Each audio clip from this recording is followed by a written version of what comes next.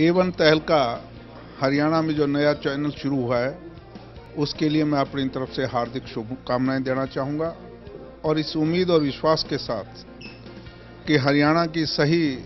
सत्यता या सच्चाई को उजागर करके हरियाणा के जनता को जागरूक करने का काम करेगा और ग्रामीण स्तर से लेकर शहरी स्तर तक जो समस्याएँ हैं, आम आदमी की समस्याएँ, वो जनता के, आपके मार्फत सरकार तक पहुँचाने का काम करेगा। ताकि सरकार उन पर कार्रवाई कर सके।